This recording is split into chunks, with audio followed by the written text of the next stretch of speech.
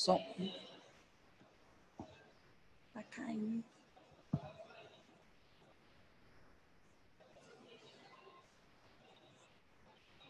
Acho que ele tá caindo. Licença.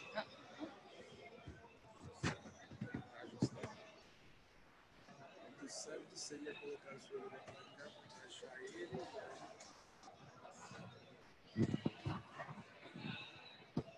Quero dar uma desculpa, já que foi esconder aqui essa parte, mais exposto o cabelo é um pouquinho mais solto. Maquiador masculino,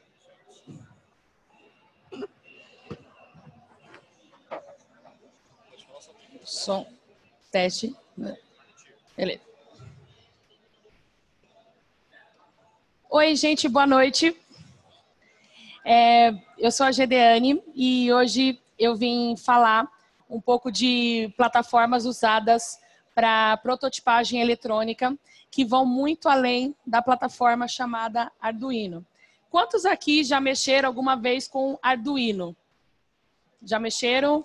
Todo mundo já tem experiência. Alguém nunca ouviu falar de Arduino? Nunca ouviu falar? E alguém conhece alguma outra plataforma além do Arduino? Ou só usou o Arduino alguma vez? Beleza. Então, hoje eu quero mostrar para vocês que existem outras e outras plataformas que a gente pode utilizar que não são somente o Arduino, tá bom? Então, vamos lá. Ai, meu Deus.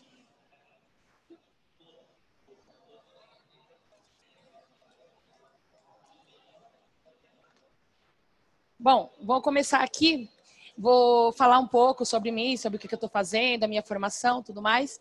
Falar da verdadeira história do Arduino, porque todo mundo conhece o Arduino como aquela plataforma criada na Itália, tudo mais. Só que há uma história além dela, e eu quero falar um pouco dela. Falar daquele boom que aconteceu, por que que todo mundo começou a usar tanto o, o, o Arduino, por que, que ele ficou tão popular. E falar das versões alternativas. Existem diversas e diversas plataformas. Eu vou conseguir mostrar seis dessas plataformas. Existem muitas e muitas outras, tá? Que a gente pode utilizar para fazer a prototipagem eletrônica, certo? E tem para todos os tamanhos, tem todos os gostos, tem todos os preços. E as considerações finais sobre a escolha de placa, sobre a escolha de projeto. Bom, falando um pouquinho de mim, é, atualmente eu faço mestrado em automação e controle de processos pelo Instituto Federal de São Paulo. Também tenho curso técnico em automação industrial e sou formada em engenharia de controle e automação. Eu tenho experiência com Arduino desde 2013, então eu tenho mexido nessa plataforma, é, curiosamente, sozinha, não fiz nenhum tipo de curso, foi brincando em casa mesmo, fazendo alguns experimentos. E desde então eu acabei voltando a, a minha atenção para os circuitos vestíveis, que são aquelas plataformas que não somente ficam em bancadas, mas são plataformas que a gente veste, tá? E alguns artigos que eu tenho redigido estão no portal Embarcados, estão no blog Felipe Flop, tem alguns também no blog Balda Eletrônica, e atualmente eu tenho é, escrevido alguns artigos para o Instituto Newton Sebraga, tá? que é uma das maiores referências em eletrônica no Brasil. Aí vamos falar, todo mundo, muita gente falou que conhece o, o Arduino, que já ouviu falar, e todo mundo remete a história do Arduino para aquela história que um grupo de desenvolvedores, é, um deles professor, que é o Máximo Banzi, que são italianos, e aí eles se juntaram para fazer uma plataforma que fosse fácil de utilizar, que fosse algo voltado para pessoas que não eram da área de eletrônica. Então tem toda uma história que sempre é contada, só que a história do Arduino começou bem antes disso, tá? Tudo começou com um colombiano chamado Hernando Barragan, que ele foi fazer o seu mestrado na Itália, tá? E apesar de, de ser colombiano, foi fazer o mestrado na Itália. E o orientador da dissertação do Hernando Barragan era Máximo Banzi. Então, ele desenvolveu o seu projeto de mestrado, uma plataforma de nome Wiring, que é aquela foto ali tá, é, não está mostrando também, é uma placa preta. E aí ele desenvolveu, além da plataforma, ele desenvolveu os códigos baseados em C e C++, tá bom? Todo mundo é, sabe o que é a programação, C, C++, então todo mundo tá ligado nisso aí. Então, ele começou na Itália, tendo como orientador o Máximo Banzi e tinha um outro co-orientador. E ele começou a desenvolver essa plataforma Wire em 2003. E isso começou a gerar uma repercussão bem legal, porque o pessoal começou a, a utilizar da plataforma dele de forma fácil. Quem nunca tinha tido contato com programação começou a ter tudo mais. Porque não sei, algum de vocês é da área de eletrônica, puramente eletrônica, sem ser dev? Nunca é, mexeram só com eletrônica? Quem mexe com eletrônica já mexeu com provavelmente alguns microcontroladores, tá? Que vamos colocar bem entre aspas é o cérebro do Arduino. Então há outros microcontroladores que são muito utilizados na área de eletrônica. Quem o pessoal das antigas vai conhecer o microcontrolador 8051, vai conhecer o microcontrolador PIC. Então, quem já mexeu nele sabe da dificuldade que é trabalhar com eles, porque ele não tem essa entrada USB, ele não tem esse gravador tão fácil. Você precisava de um gravador externo, você tinha que ter um cuidado para manusear mesmo o, o chip, tá? Se poderia ter o risco de quebrar algum terminal, você perdeu o chip e esse chip tinha um, um custo, poderia ser elevado, tá? E, então, quem mexia nisso aí tinha muita dificuldade e com programação, principalmente em assembly. Algum de vocês já mexeu com assembly? Nunca? Pessoal, o pessoal que conhece assembly sabe da dificuldade que é. Um, um programa em C que consome muito menos linhas vai fazer em assembly o negócio dobra ou triplica, tá? Então, ele, Hernando Barragan, ele teve essa visão de fazer algo que fosse fácil, que fosse utilizado para pessoas que não eram da área de eletrônica.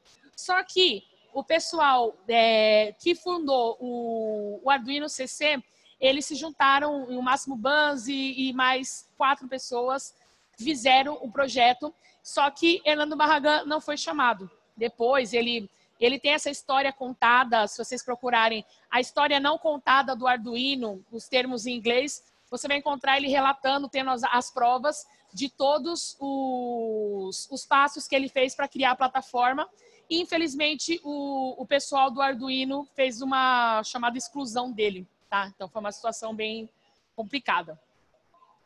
Aí, o, quando eles se juntaram e eles deram o nome Arduino, para quem não sabe, o Arduino era o nome de um bar que tinha lá na, na região onde eles estavam desenvolvendo.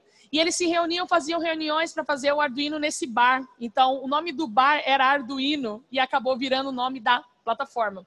E essa, essa plataforma deu esse boom, por quê? Porque ela era bem fácil de usar. Então, você tinha, você tem um microcontrolador aqui, que era o ATmega 168, que se utilizava na época. E você tinha os pinos para você conectar sensores, motores e tudo mais de forma muito mais simples do que quem utilizava somente o chip stand-alone, tá? Não sei, algumas pessoas podem ter a experiência de montar um circuito do Arduino fora da placa, mas em protoboard sabe que é um pouco mais difícil. Então, ele ficou muito mais fácil. Então, para quem foi desenvolver projetos e utilizar Arduino, pode facilmente integrá-los a módulos com relés. Então, eu posso lidar com sensores, eu posso lidar com, com motores, eu posso desligar a lâmpada da minha casa. Aqui está um exemplo que foi utilizado com celular, pode se utilizar é, Bluetooth, pode se utilizar radiofrequência, pode se utilizar Wi-Fi. Então, eu posso integrar vários módulos e enriquecer muito a placa. E isso acabou gerando aquele boom as pessoas é, tiveram uma boa aceitação. E isso foi tornando proporções mundiais. Aqui no, no Brasil, eu não lembro quando chegou, mas eu comecei a utilizar em 2013 e a plataforma já estava se consolidando, já estava se criando uma comunidade. Então, a comunidade é, desenvolvedora, tanto o pessoal da área de programação, quanto da área de eletrônica, quanto da área artística, começou a se utilizar da, dessa plataforma que foi muito mais fácil do que aprender conceitos básicos de eletrônica, que tornava o processo de aprendizado um pouco mais difícil e às vezes as pessoas acabavam até desistindo dos seus projetos. Aí, mais, tipo, falando é, momento for dummies, mas o que, que o Arduino tem? Ele tem um microcontrolador. Essa versão é a chamada Uno. Existem outras e outras versões da placa. Essa versão do, do Uno é a chamada Uno R3. Ela tem o microcontrolador, o ATmega 328, que é um microcontrolador de 8 bits, tá bom? Microcontrolador não é a mesma coisa que microprocessador. Microprocessador tem é, o processamento dele é muito mais rápido, é utilizado em computadores, em coisas que precisa de aplicações mais simples, como acender LEDs, acender lâmpadas, relés e tudo mais, a gente utiliza o microcontrolador. Ele tem é, essa coisa do open source, que significa ele tem todo o seu código aberto, todo o seu esquemático aberto, então não há problema de piratear a, a placa. Se você quiser desenvolver a sua própria placa Arduino, você pode, tá? E dar o nome que você quiser. O, o combinado é você não utilizar o nome Arduino, porque é um nome licenciado, mas você pode fazer suas várias placas. É, alguns exemplos, é, nós somos Rue Rue BR, então temos nomes bem engraçados. Existem placas brasileiras chamadas é, Garagino, Severino, Franzino, e tem outros e outros nomes que o pessoal inventa, o pessoal do Brasil é bem criativo, tá? Então, não dando o nome Arduino, mas você colocando, por exemplo, seu Bananaino ou seu nome que você quiser, você pode é, fazer a sua placa, que todo o esquemático está aberto, as dimensões da placa, os microcontroladores, os componentes eletrônicos, tudo mais está tudo disponibilizado para você desenvolver a sua placa. Então, é uma plataforma completamente open source. O, o, ambiente de desenvolvimento da IDE, você não precisa pagar, você tem ele disponível totalmente gratuitamente na internet, tá? É, ele tem forma de comunicação serial, SPI, I2C, ele tem o PWM, então para fazer o controle de motores e tudo mais, você pode se utilizar do, do Arduino. Ele tem conversores analógico, digital, então se você quer fazer a leitura de, de um sensor de temperatura e se utilizar desses dados no, no Arduino, você consegue, por causa desse conversor. Você não precisa usar um conversor externo. Você pode fazer essa programação via IDE, então aqueles códigos e assembly, aquelas coisas difíceis, aqueles é, compiladores complicados, você tem uma plataforma muito mais simples, bem simplificada, que já passa diretamente para a placa. Além de compilar o programa, você verificar os erros, você já consegue fazer o upload direto através da IDE. Além do USB, que você não precisa de um gravador externo, você só plugando um USB, no caso do Windows, ele gera uma porta com e já você já pode utilizar a placa, às vezes você tem que instalar algum driver, alguma coisa assim, mas não é nada de é, bicho de sete cabeças, tá? É bem simples de usar. Bom, eu estava vendo os preços no na Mauser, que é uma das distribuidoras de eletrônica mundiais, um Arduino chamado original, que é o Arduino vindo da Itália, tá? Que é uma placa um, um pouco mais bonita, tem uma caixinha, tudo mais. Ele está custando por volta de 22 dólares. E aqui no Brasil, as versões compatíveis, ou seja, são as versões que não são da Itália, são versões chinesas, é, tudo mais, você pode encontrar a partir de 30 até 80 reais, tá bom? É, o pessoal conhece muito aqui a Santa Efigênia, às vezes o pessoal me pergunta, ah, mas a Santa Efigênia tem Arduino barato? Lá na Santa Efigênia, Arduinos compatíveis eu encontrei por cerca de 60 a 80 reais lá, tá? Mas em Mercado Livre, você, a partir de 30, você já encontra essas placas, tá bom?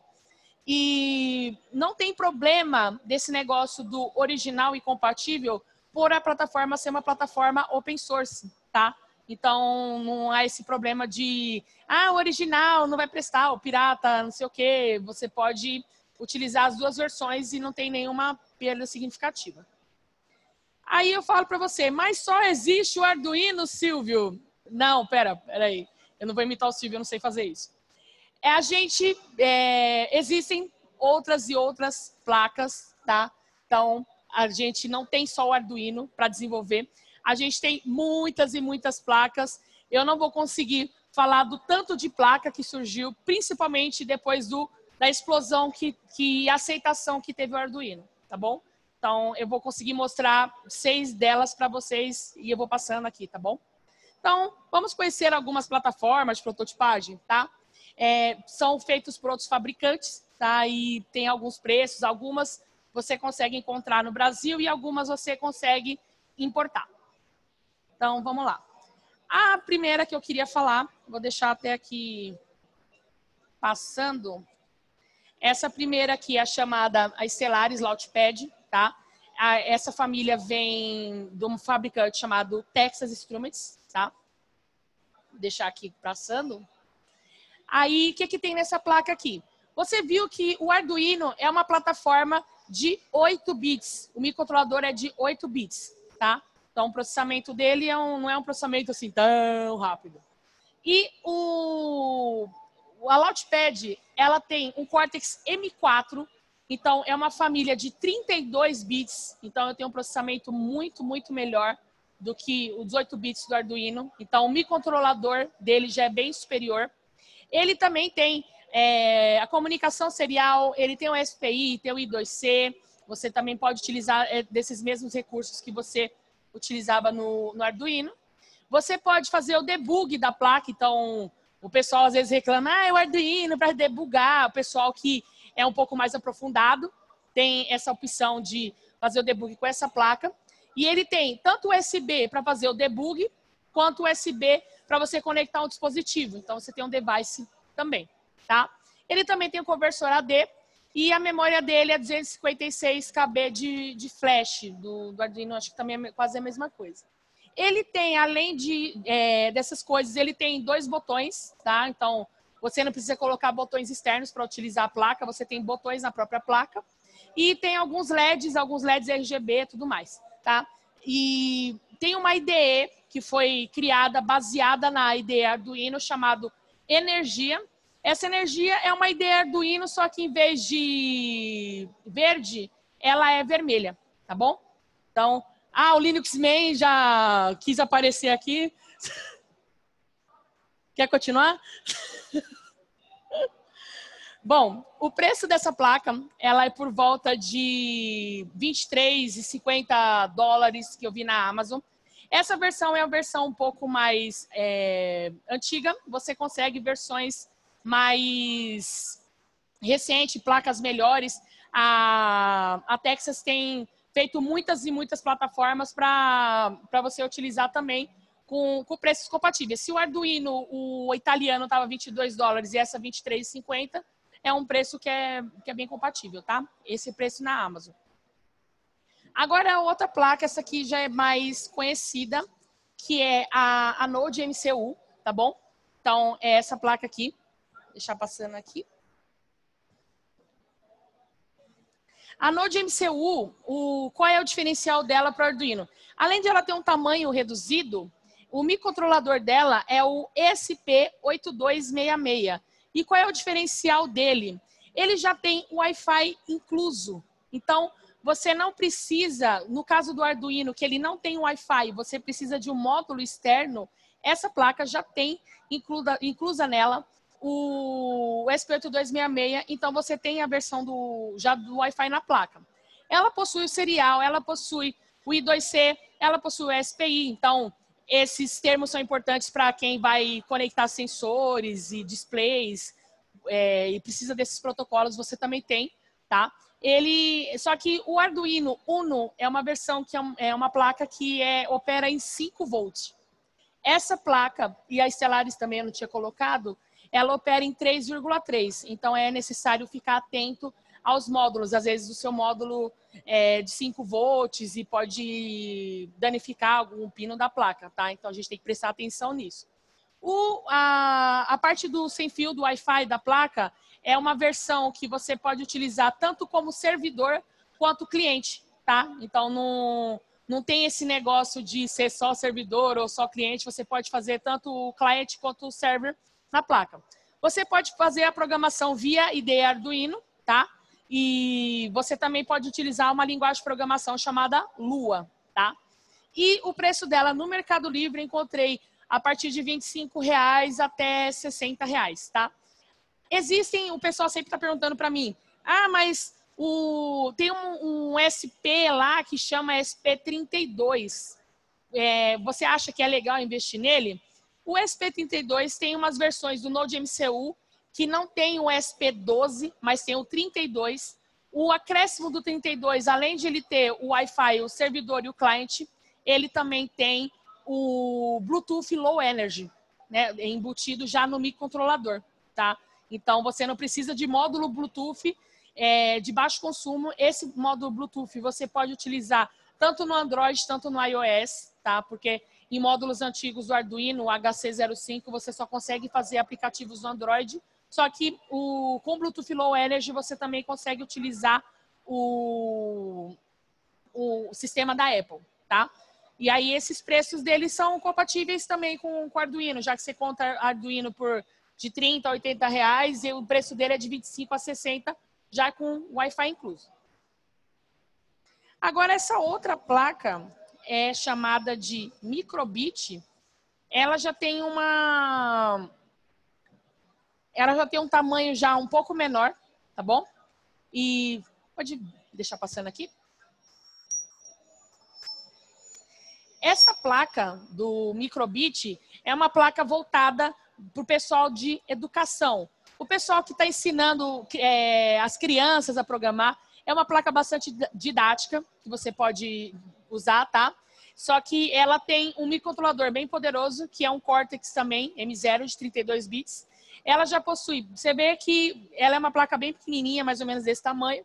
Você já tem Bluetooth Low Energy nela, você tem acelerômetro, você tem uma conexão para bateria, você tem 25 LEDs na parte traseira. Vocês vão ver que esses 25 LEDs estão dispostos em um displayzinho. Então você pode fazer as letras passando, tudo mais. Com o acelerômetro você pode, é, quando sacudir a placa, você conseguir mudar o que está escrito ou colocar alguns emojis. Eu já fiz algumas experiências, foram bem legais. Você também tem dois botões para utilizar: sensor de luz, temperatura e a programação dela, ao contrário do Arduino, que é uma IDE, essa IDE você programa numa linguagem semelhante a C e C++, você pode programar em blocos, tá? Então, para quem já mexeu com Scratch, que já viu blocos, é, se torna uma coisa um pouco mais didática. E, e, esses blocos são baseados em JavaScript. Ou você pode usar Python também, tá? O preço dela, que eu encontrei na Mauser, tá 17,50 dólares, tá? Aqui no Brasil, eu vi que a Positivo estava querendo já importar essas placas e, e, já vi que algumas escolas que utilizam de programação já estavam querendo usar essa placa também, tá? É, e ela também tem pinos de entrada e saída. Aqueles três primeiros buraquinhos são para você colocar é, pinos de entrada e saída. Tem o pino de GND e o pino de BCC, tá? De 3,3 volts. Essa outra placa é chamada de Onion Omega. Essa placa foi lançada no Kickstarter, tá? Então o pessoal fez o, o desenvolvimento dela. É uma plaquinha bem pequena, tá? Pode Essa placa vai muito além de ser só um Arduino, tá? O micro, o, ela não tem um microcontrolador, ela tem um microprocessador e você consegue utilizar Linux nessa placa. E você vai ver que é uma placa minúscula, mas você mesmo assim consegue integrar Linux, tá? Ela também possui o comunicação serial, SPI, I2C, tudo mais, opera em 3,3 volts. Ela já tem Wi-Fi incluso, mas ela existe alguns módulos que você chamados docks de expansão, que ela te dá o poder de mexer com Bluetooth, com Ethernet e com até a tecnologia 3G tá bom? Dá para mexer também com ele, usando expansores. Você pode programar usando Python, usando PHP, Ruby, C++ e Node.js. Então, para quem é dev e conhece essas outras linguagens, acha melhor programar com elas, você pode utilizar. E o preço dela é bem barato. Eu encontrei na Mauser por cerca de quase 10 dólares, tá? E tem outros locais que, que, que vendem também. Quando eu comprei, eu comprei num, num site de Londres e eu paguei mais ou menos isso. Então, é um preço padrão. O que pode encarecer é questão do, dos impostos no Brasil, se a placa for taxada, tudo mais. Tá bom? Agora, essa outra placa, para o pessoal mais retrô, é, vai, é, vai falar, ah, eu programei em PIC e eu não largo o PIC para Arduino. Às vezes o pessoal tinha essa, dizer essa guerrinha, mas como o microcontrolador do Arduino, o ATmega 328, é da família Atmel, e a Atmel foi comprada pela Microchip, que é a fabricante do PIC, então agora é tudo uma empresa só, tá? Mas mesmo assim foi criada uma placa parecidíssima com o Arduino, vocês vão ver que tem o mesmo tamanho, tá bom? Mas ela, em vez de um ATmega, ela possui um PIC de, é, da família 32, tá? Então é um PIC de 32 bits, é esse PIC aqui, tá bom? Ele tem o, o Arduino tem 14 pinos de entrada e saída digital. Esse daqui tem 42 pinos. Então, é, são filamento, é, são dois barramentos de pinos. Então, você pode colocar muito mais dispositivos, tá? Você tem o I2C, você tem o SPI, você tem o ART, você tem uma USB. Então, portanto, se você tem serial também, ela pode ser programável tanto via C ou você pode utilizar a IDE Arduino para programar essa placa. Você pode programar um PIC no, é, numa ideia do hino. Só instalar a placa. E é, tem várias outras versões, tem umas versões um pouco maiores, menores, mas todas se utilizando do PIC, tá? Do microcontrolador PIC. E na Mauser eu vi ela por volta de 30 dólares. Então dá um preço também que é compatível com o Arduino. Agora, essa daqui é uma das minhas preferidas, tá? Eu não vou nem conseguir passar aqui. Depois, quem quiser ver essa placa, vocês estão vendo que parece uma placa grande, mas você tem a ponta de um lápis. Sim, essa placa é muito, muito pequena. Ela está aqui, bem nessa, encaixada nesse shield aqui. Essa placa é chamada Sensor Tile, de uma empresa chamada ST Electronics. Só que apesar do seu tamanho tão minúsculo, ela já possui muitos e muitos periféricos nela, tá? Depois no final, quem quiser dar uma olhadinha, eu tenho ela aqui sozinha. Ela é praticamente do tamanho do meu dedão. É uma placa muito pequena. Mas, apesar de, do seu tamanho tão pequeno, ela já possui o microcontrolador da família de 32 bits, então o processamento dele é muito superior ao Arduino, da família M4. Ele possui Bluetooth Low Energy, tá?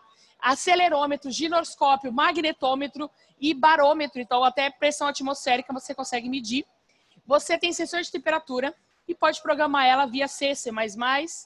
E o tamanho dela é 13,5 milímetros por 13,5 milímetros. Então, é um centímetro e pouco por um centímetro e pouco. Ela é muito, muito pequena, tá? E o preço dela na Mauser estava por cerca de 35 dólares. É, só que você precisa de alguns periféricos para utilizar ela, devido ao seu tamanho. Tem algumas placas de expansão, que, por exemplo, você pode utilizar essa daqui e é só conectar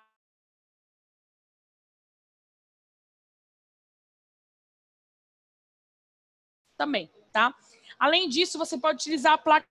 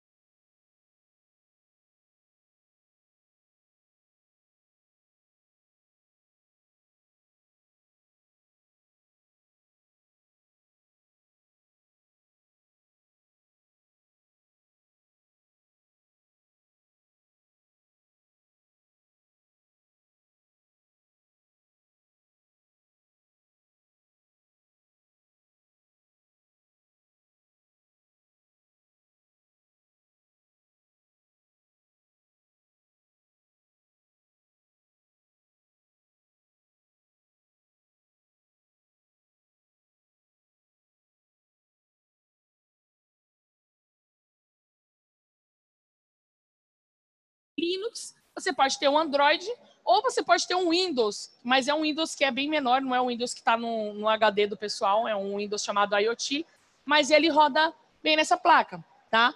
E então eu vou dizer, o Raspberry Pi é um computador, tá bom? É um computador bem pequeno que você pode ligar periféricos e tudo mais, mas ele não é um Arduino que tem um microcontrolador. O preço dele que eu vi na Mauser estava por volta de 43 dólares.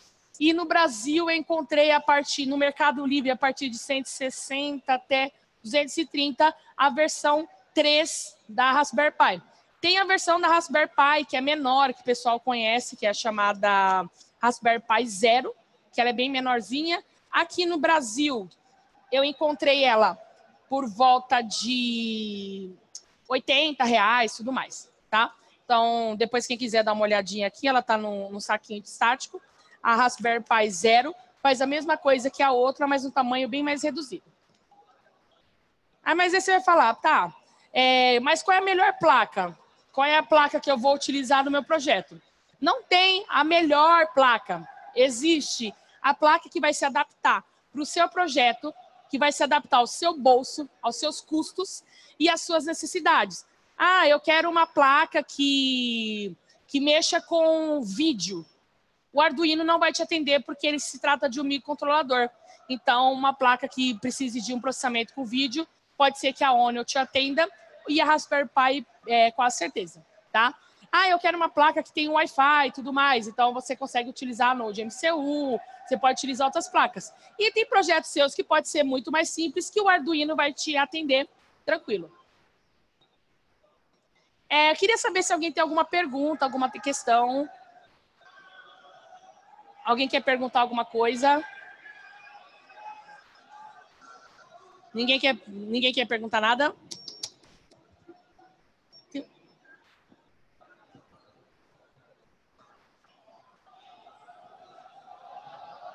Boa noite, tudo Boa bom? noite. É, eu tenho a dúvida assim, por exemplo, eu monto meu projeto com uma placa Arduino, por exemplo, e eu tenho interesse de comercializar isso, é, tornar um produto mesmo, indústria e tal. E às vezes, tipo, o Arduino tem muitos periféricos que eu não vou usar no meu produto, então não seria inviável usar essa placa? E qual o, o que eu deveria usar neste meu produto? Ah, legal. É, o Arduino, como ele se trata de uma plataforma de prototipagem, ele nunca é utilizado para projetos finais, tá bom? Principalmente a versão Uno. Existem versões do Arduino que são muito menores, tá? Principalmente o Arduino Pro Mini, que é uma das menores placas que você consegue colocar é, em projetos e o pessoal não vai ver. Uh, o pessoal, o que, que o pessoal costuma fazer? Baseado na prototipagem realizada com Arduino, ver a programação, ver a conexão de periféricos, ver se tudo está ok, o pessoal costuma fazer a sua própria placa dedicada com o microcontrolador fora, tá? E aí pode embarcar no projeto final, não tem problema. Aí algumas pessoas mandam fazer essas placas em casas especializadas, e, e aí deixa de se tornar uma plataforma de prototipagem para se tornar um produto. Eu tenho um amigo lá de Curitiba, né, que é o, é o Luiz Carlos. Ele começou a prototipar na empresa dele com o Arduino algo voltado para rastreamento de carga, tá? Então, ele começou a utilizar o Arduino Uno, fazendo experimentos com radiofrequência, tudo mais. Ele criou a sua própria placa, utilizando esse microcontrolador e a programação, e depois ele fez essa placa em muitas e ele colocou em caminhões para rastrear carga. Isso virou um produto, isso virou uma empresa, tá? Então é possível do Arduino se tornar um produto, mas não utilizando aquela placa Uno que eu mostrei, mas uma placa feita por você ou desenvolvida por alguém especializado, tá bom? Alguém mais tem alguma questão? Uma pergunta?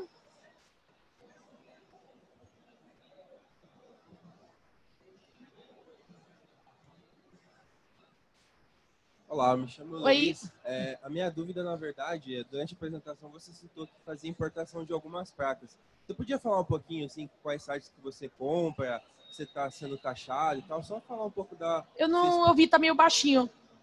Ah, é, ah, Melhorou. Desculpa, é, meu nome é Luiz. É, durante a apresentação você citou que faz importação de algumas placas e tudo mais, compra de fora.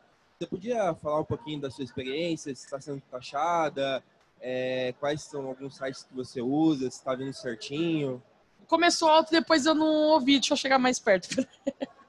Desculpa. A minha experiência, que você tinha falado. Sobre a importação. ah, da importação. Isso, exato. Como é que ah, quais sites que você usa e tudo mais. Ah, seguinte. É, essa parte de importação é bem importante porque a gente em Terra Brasília sempre tem esse problema de taxa, tá? Algumas vezes chega algumas coisas sem taxa. Na Mauser, eu, a minha experiência com a Mauser foi eles têm uma taxa fixa de envio, tá? Então, a Mauser, você pode comprar um Arduino, você pode comprar 10 Arduinos, ah, eu posso comprar mil Raspberry Pi ou componentes eletrônicos e tudo mais, e pagando um único valor de frete que é 35 dólares. Então, independente disso, e aí vem por UPS e tudo mais. Aí, dependendo do, do governo, pode cobrar a taxa ou não, mas eles têm essa taxa de envio. Outras experiências que, que eu tive foram só em sites chineses. Eu tive algumas experiências com, com sites chineses. Algumas coisas chegaram com taxa e outras sem. E o que, que acontece com o pessoal do que vê essas placas, é, é, aliás, vê esses, essas coisas, é, fica lá geralmente em Curitiba, então às vezes demora uma semana para chegar no Brasil e fica lá seis meses em Curitiba. Algumas vezes vocês devem ter passado por alguma coisa assim. E aí depois vinha aquela cartinha em casa falando que você tem que pagar uma taxa para retirar o, o produto. Eu tive poucas experiências de, de taxa, foram. Eu falo para vocês, a minha experiência de compra em final do ano, geralmente ela é taxada, acho que por grande volume, o pessoal vai comprar presente, e aí eles taxam. E aí que que, que, o pessoal faz? Coloca, às vezes, é, que, que é para presente, aí vem sem taxa.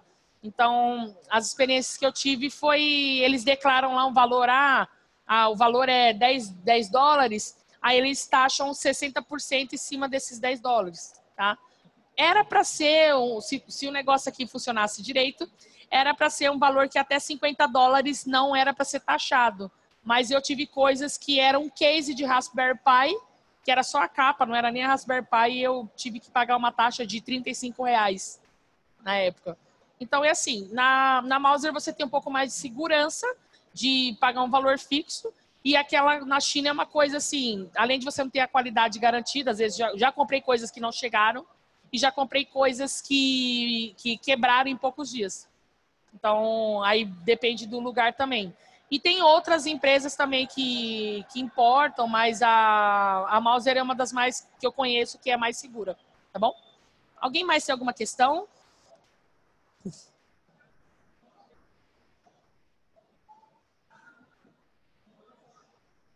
Hede, eh, ¿probaste la Onion Omega 2 traba, trabalhaste com Onion Omega 2? Sim. E como, como foi? É, a primeira experiência que eu tive com a, com a, Onion, a Onion Omega 2 foi assim, eu não consegui usar ela logo porque ela tem um espaçamento entre pinos que não é compatível com um protoboard. Todo mundo sabe o que é um protoboard? Todo mundo já utilizou? Então, o protoboard tem um espaçamento de 2,5 milímetros entre cada buraquinho para você encaixar seus componentes. E a Onel, ela tem um espaçamento de 2. Então, eu não consegui encaixar ela no protoboard. Eu tive que comprar um, um deck de expansão para utilizar o USB e tudo mais. E ela é bem fácil de configurar. Você tem, ela gera lá um IP, você conecta ele na internet e, e faz coisas, acende uns LEDs, algumas brincadeiras assim. Minhas brincadeiras foram todas iniciais. Eu não fiz nada muito além mas eu achei ela uma plataforma bem bacana de, de utilizar, tá bom? Inclusive, o pessoal do, do IoT Makers, eles fizeram aqui no Brasil um deck de expansão para a Onion Omega, para quem comprar a placa e achar ruim de comprar fora, eles têm uma versão também aqui no Brasil, tá bom? Alguém mais tem alguma questão, alguma pergunta? Não? Então, bom, eu quero agradecer a todos aqui. Eu só vou só acender essas coisinhas que estão aqui. Às vezes o pessoal está curioso do que, que é. Deixa eu ver se vai ligar aqui. Deixa eu ver. Tá ligado aqui? Por incrível que pareça, todo mundo acha que ah, a pessoa vai ficar cega com isso aqui, mas ele acende, ele tá como tá na pálpebra, então não, não tem problema nenhum.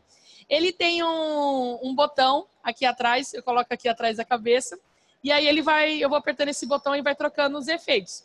Eu comprei umas versões outras lá, e não funcionou e eu acabei perdendo a paciência. Eu coloquei um Arduino o Arduino funcionou muito bem, obrigada. Tá bom? É, esse que está aqui na minha cabeça também acende. O pessoal me chama muito da mina das luzinhas, né? Deixa eu ver se. se acender aqui.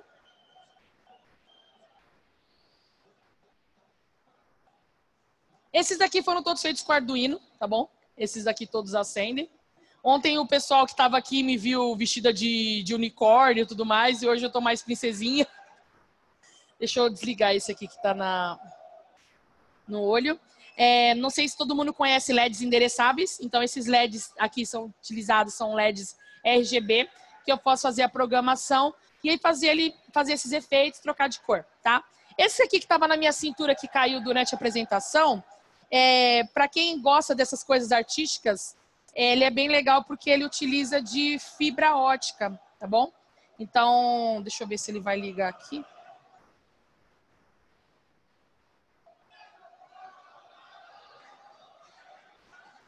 Ah, ele não ligou aqui não. Ele funcionou. Tudo bem.